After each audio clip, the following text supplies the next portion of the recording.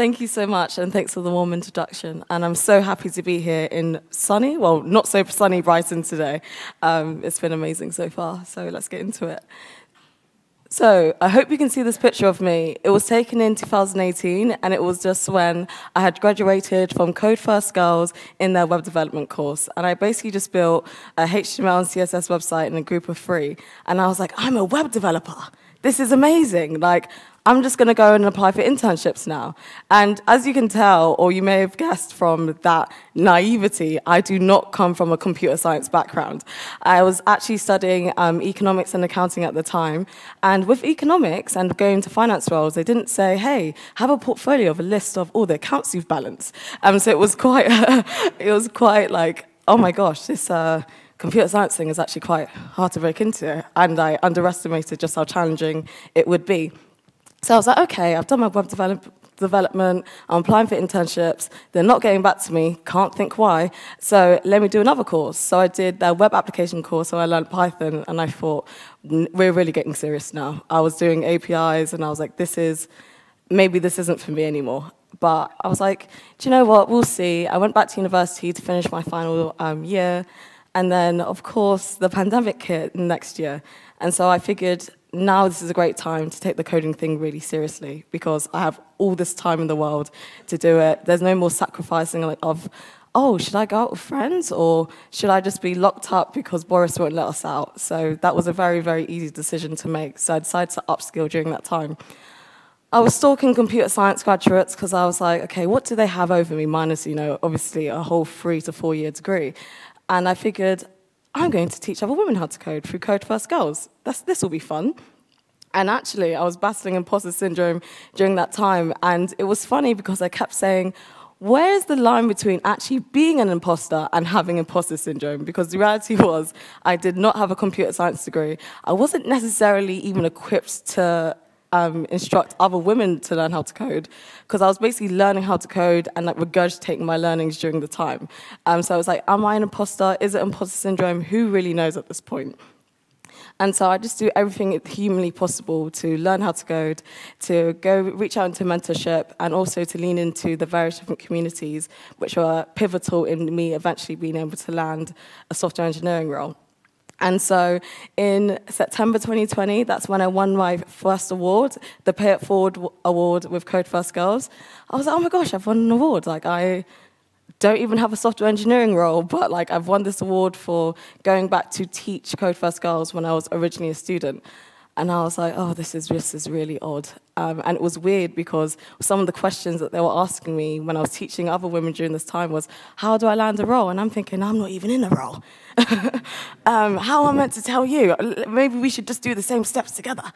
Um, and then I landed a data analyst role, but eventually I decided I really didn't want to do data analysis. Like, I felt like it was a cute transition, especially coming from an economics background, but I really wanted to be building new product, like new, um, yeah, new products, new features. I just wanted to be a software engineer.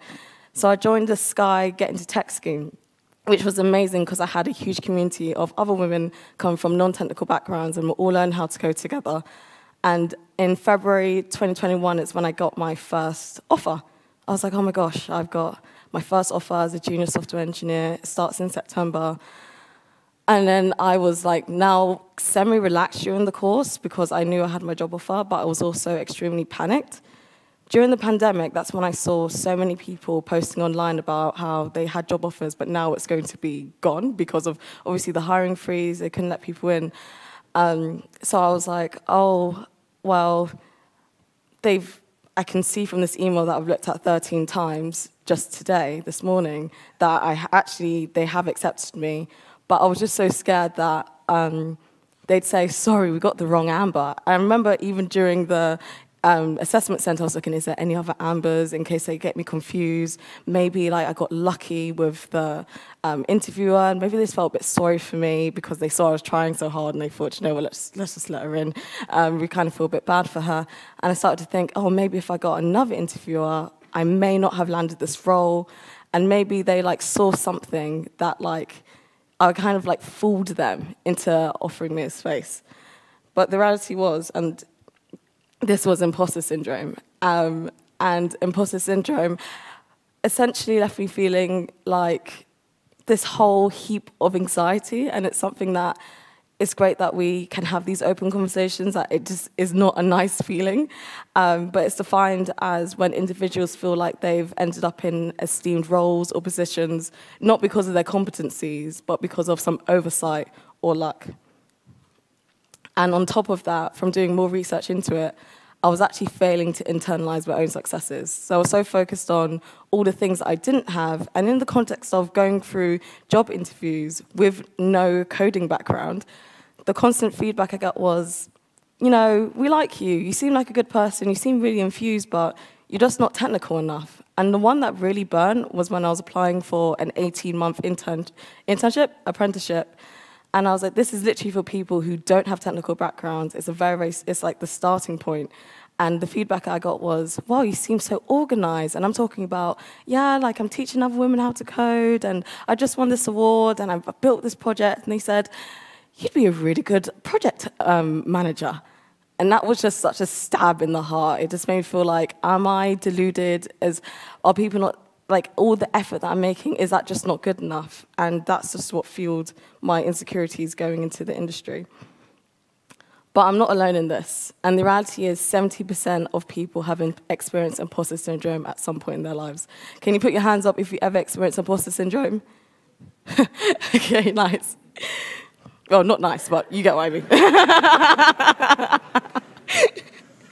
so, from doing some intense research into imposter syndrome, because I noticed that, you know, the women that I, um, the network that I built from being part of the Skygate Tech scheme, it seemed like when we all started our jobs, we all had very similar problems. One, managers didn't necessarily know how to deal with people who don't come from technical backgrounds. And secondly, we didn't know where the benchmark was. So, especially in the case of finance, where it's like you kind of are expected to know things. I can't imagine me um, doing some accounts and saying, do you know what, we're just like a few hundred pounds off. Like, it's kind of, it's very, very um, accurate. you have to be pretty accurate. And so it was kind of an adjustment to realize that oh, devs break things all the time. Like this is just something that we accept. Like we just, you know, push things, and then in a few days there may just be an incident, and everything seems to come crashing down.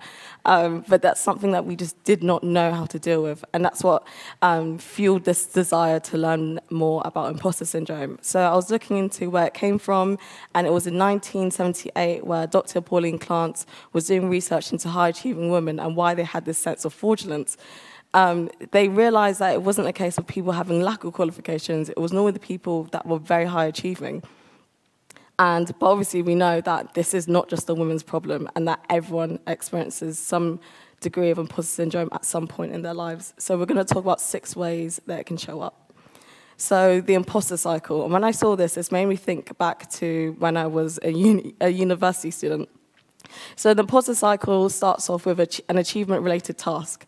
So maybe that's a PR. For me, I was thinking about my exams, and that, that achievement-related task can feel a sense of self-doubt and worry. And there's, and there's two ways people react when they're, doing, when they're part of this cycle. The one way is to procrastinate. Can I get hands up for the procrastinators?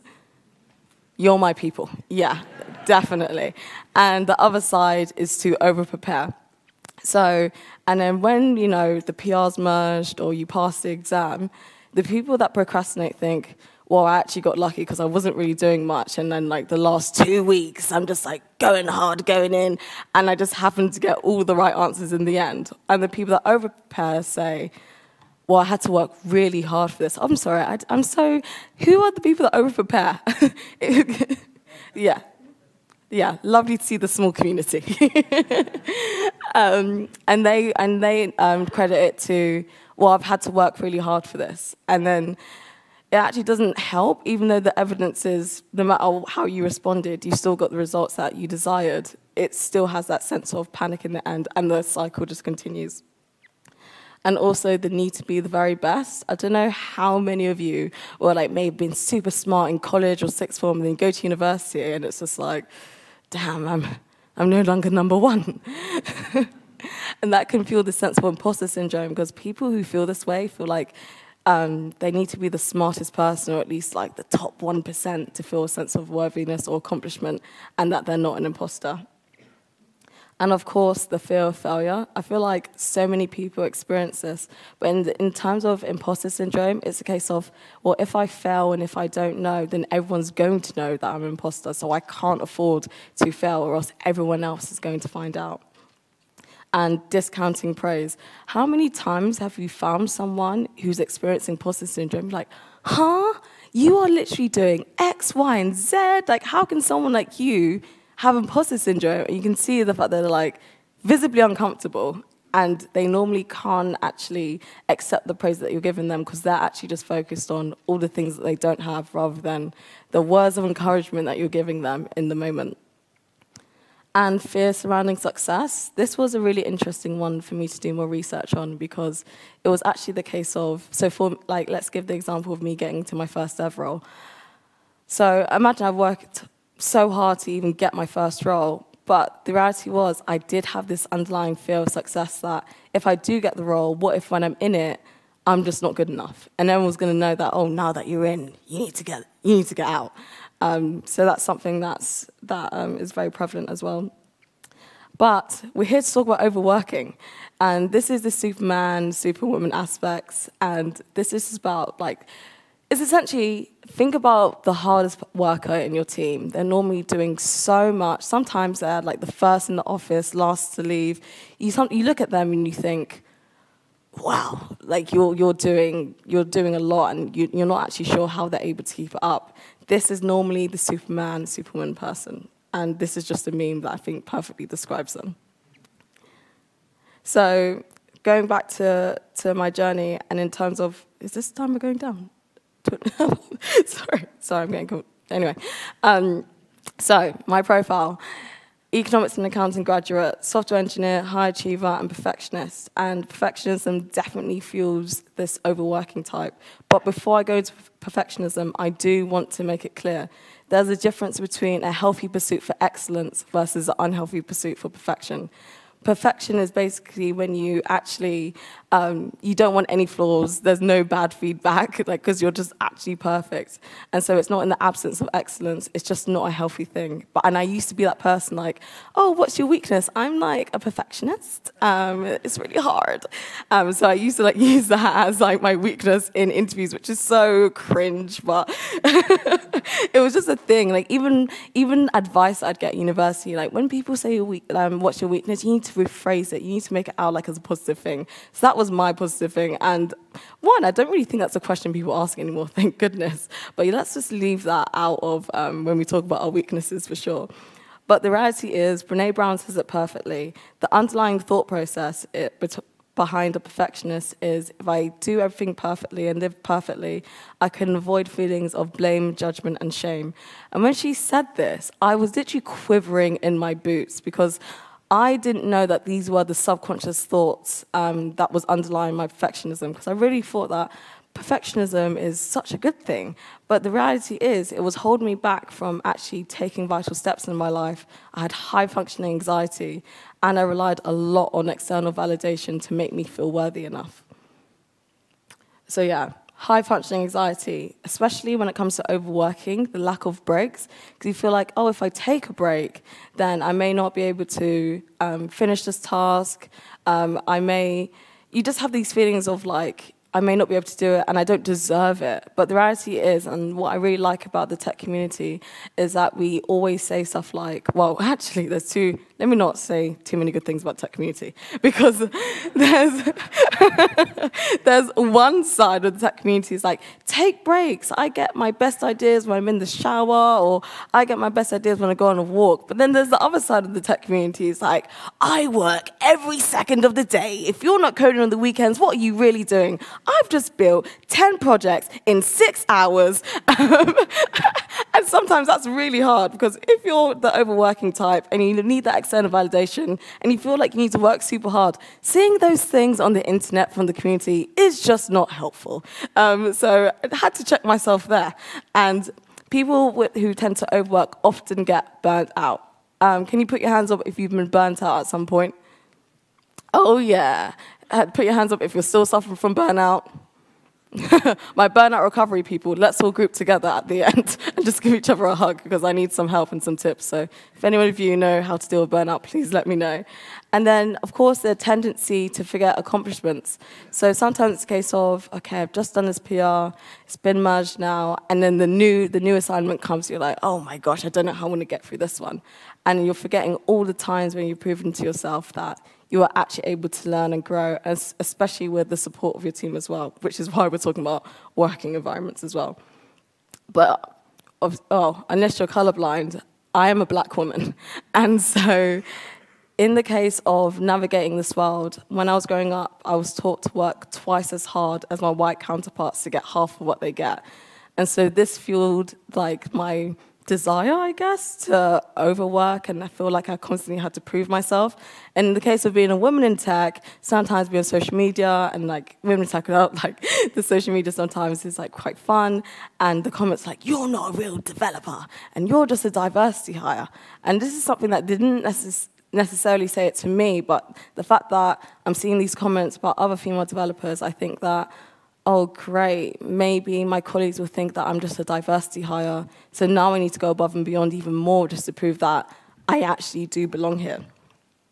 And so as much as I do love talking about imposter syndrome, I do have to give it this kind of context. This is a really, really great article. And it's just the fact that imposter syndrome puts the blame on the individual and it doesn't actually account for the way that we are in society and also the fact that work environments can place a huge, huge um, impact on how we feel about ourselves, especially in the context of internalizing our successes. So definitely check out this article.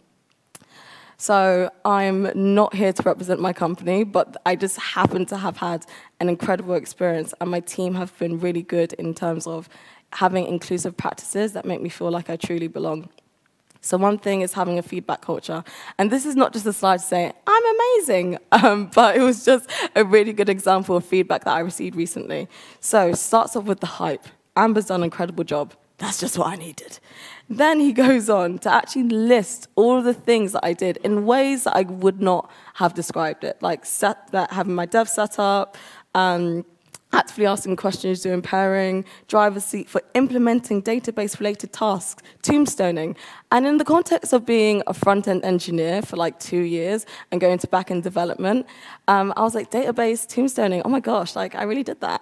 and it was so good for this person to actually list out all these things, because as far as I was concerned, I was struggling to get set up with my dev environment. There were so many bugs. I Was, they were basically telling me all the commands. I had to delete a table. And even in this, um, it's just so funny because um, at the bottom it says, contributed to multiple incidents. The incidents that they're talking about is actually the, the second, was the um, implementing the database-related task, the tombstoning. I deleted one column. and then all of a sudden everything is on fire. So I just thought that was just so funny that, that it's like, well done in deleting this thing. Also, thanks for being around when it just broke everything. So I thought that was just so good. Um, but it was, it was actually a great example of, oops, of having a psychologically safe environment. He basically communicated that look, mate, like you're new to this back end development thing, but we're all around to support you as well. And obviously, um, he helped me to track the wins, but I always encourage people to track their wins. I created a free template. It's zero pounds and zero pence. Um, you can just use the QR code there, but it's just a Notion, um, Notion page you can duplicate just to track your wins. It has little things like going on a walk in a park or like saved 100 pounds or you presented in a meeting. It's like the small wins really do matter. So when, even when, you know, I went through a, a awful interview and there's an interview that you know sometimes people say in a year's time you know you're not going to think about it. There's an interview that was two years ago that i still sometimes scream about because it was so easy. Like it was actually so easy but at the time because i didn't have any experience with it in it it was so hard. But in that moment all i needed to do was just open up a template that shared like all the stuff i had been doing so i had some kind of hope. And um, before Will Smith was unfortunately known for a slap, he actually had some, I know, he had some really, really good motivational videos. And one of them that I am literally obsessed with is fail early, fail often, and fail forward. the thing about going into like the tech industry is the fact that we're learning all the time and we're breaking things all the time.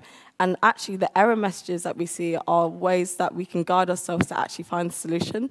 So this has been great in terms of developing a growth mindset. And even when I was learning how to code, I remember like stuff would be broken. I'd be like, okay, it's just it's just broken, and kind of like push it to the side. But my instructor was like, hey, like let's just keep going into this and let's try to find a solution. She taught me a lot about grit. And it helped me to realize that just because things aren't working straight away, some things just take extra time. And that's just so helpful to be around people who have a strong, strong learning mindset. But again, this can really be fostered when you have that psychologically safe environment a message that my colleague sent to me, and I was just like, again, I'm not here to represent my employer. I was actually going to um, cross out the employer because I felt like they're really not paying me to be here, kind of vibes. But but I'll read it out to you. It said, when I started at Skyscanner, one of the things that helped me the most was having someone I could just ask anything I didn't know. The whole squad was great, but my onboarding buddy made all the difference. With his help, I completed my first project at Skyscanner, and that really helped me settle in and do stuff here. I just want to pay that forward and set you up for success. I was just like, that's just so nice. it was just such a nice, reassuring message that you really have my back, and to communicate that is is so so. It just makes such a big difference because sometimes we kind of assume like, well, of course I'm here. You know, like it's kind of obvious, but to make that explicitly clear, and because one thing about me, I can chase people. I can reach out, ask for help, but it's another thing when they come to me and they say like, "Hey, I'm going to reach out to you. I'm going to check in on you." It makes such a big difference, and it takes all the pressure off of me as well. And of course, to take intentional breaks. As an overworker, sometimes we feel like we can't do that. But the fortunate thing is, like even with me, sometimes I just wake up and the work at home vibe, I'm like, oh my gosh, I'm, I'm just gonna lie in for a bit. It's 8.50, kind of get out of bed, open my laptop, I'm just like, haven't moved, I'm just working. And I think, oh, I feel bad because I may feel a bit behind, or I feel like, oh, if I if I get up now, there's no going back, kind of vibes. But to take intentional breaks can, is so powerful, and I've been really fortunate enough to have a manager who just says, "Yo, you're putting too much pressure on yourself. Um, maybe you should just take. It's always good to take time off. Like if you're feeling unwell, because whenever I felt unwell, I was like, I can't take a break. I can still work and power through this. But having a manager that says, hey, you know, sick days are there for a reason, it's actually your right to take it, makes the big difference because, of course, we can assume that people know that. But for that to be reiterated is so powerful. And there's some cool ways that you can implement this. So one thing I had in my previous workplace was walking meetings. That was just so cool. So either we walked with each other um, when we were having our one-to-ones, or we'd be on a phone call while we were walking. Um, it just it just helped to just like to get out of the house, to have a break, but also be doing something productive at the same time. Also meeting breaks as well. So in the squad, well in our squad we have um, like 12 to 2 blocked out every day in terms of our focus time and also team team social time. So we every week we have just what a thing called chill time we do the online games. I'm a big fan of Codenames. If you're down to be on your laptops later and play with me, I actually just obsessed with the game and like you know Scribble. And if you have any other um, games that you'd recommend, online games, please let me know because I literally I'm just so obsessed with them. But these are just like a few ways that you can incorporate intentional breaks with the team because in the case of the Superman, Superwoman aspects, they can normally relax when they know the whole team is relaxed as well, so they're just not alone in it. In it. And for my overworkers, please find a sustainable rate of working, and this requires experimentation. So I was reading a book, and it was actually called Nice Girls Don't Get the Corner Office. It was a bit savage. I didn't end up finishing reading it because it made me feel a bit sad. But one thing that they said was that um, when you work at such a high rate, it now becomes the norm. Um, and so when you work at a rate that other people are working at, sometimes the gap can look as if you're underperforming when the reality is is that you're just working at the same rate as other people were and you, and you weren't able to sustain the rate in which that you were working, and obviously that leads to burnout and all these other things. So definitely finding a, a sustainable rate of working makes all the difference as well.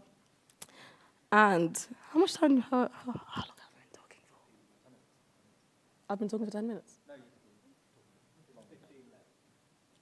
This is my last slide. yeah, cut that out. but to end, okay, there's a Squiggly Careers um, podcast, and they talk all about. Oh wait, is my mic no? Yeah. There's a Squiggly Careers podcast, and they say that we're now shifting from uh, the pressure of being a know-all to now the, um, being a learner-all, and that is so empowering because the reality is we cannot expect to know all of the technology, all the different methods, and with the rate of new things coming out all the time, it's about embracing that learning mindset. And also celebrate your wins and give yourself some compassion. I feel like sometimes we can be so hard on ourselves. Yeah. Thanks for laughing with me, it really helps. Sometimes we can be so hard on ourselves, especially when we're high achievers. We know just how much we can do, but it doesn't mean that we should be doing that. Sometimes we're just exhausting ourselves. Look how many people put their hands up when we spoke about burnout. We can't keep normalizing these things. And also know what you bring to the industry. Everyone has a uniqueness that we bring, and it doesn't always have to be just a technical thing like, yeah, I'm really good at CSS, I'm really good at testing. Like sometimes it's the innovative ideas that you come up with. Sometimes it's the fact that you're super solutions focused and you have a lot of grit.